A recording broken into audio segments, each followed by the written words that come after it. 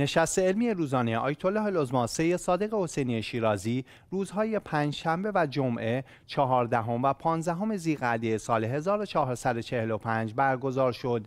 در این نشست ها همچون جلسات پیشین ایشان به سالهای حاضران در جلسه پیرامون مسائل مختلف فقهی پاسخ دادند. آیت الله العظما شیرازی با اشاره به این فراز از فرمایش امیرالمومنین علیه السلام که در ایام فتنه ها همانند بچه شطور باش که نه پشتی برای سوار شدن و نه پستانی برای دوشیدن دارد فرمودند موضوع این فرمایش امیرالمومنین مربوط به جایی که دو طرف یک منازعه باطل باشند و یا زمانی که شرایط امر به معروف و نهی از منکر کامل نباشد. اما اگر شرایط امر به معروف و نهی از منکر کامل باشد و مثلا امکان بهرهگیری از حکمت و موعظه حسن فراهم باشد موضوع متفاوت است.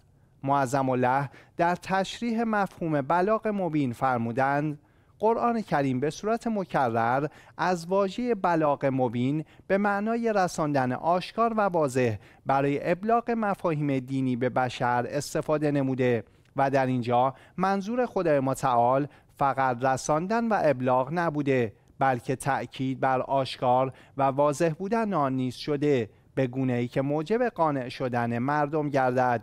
ایشان در ادامه فرمودند اگر مردم به آنچه که به صورت واضح و آشکار به آنان ابلاغ شده عمل کردند در این صورت نتیجه مطلوب حاصل شده. اما اگر به آنچه که به آنان به صورت آشکار و واضح ابلاغ شده عمل نکردند حجت بر کسانی که این وظیفه را انجام دادند تمام شده است. با هم فرمایشات آیت الله العظما شیرازی را ببینیم و بشنویم.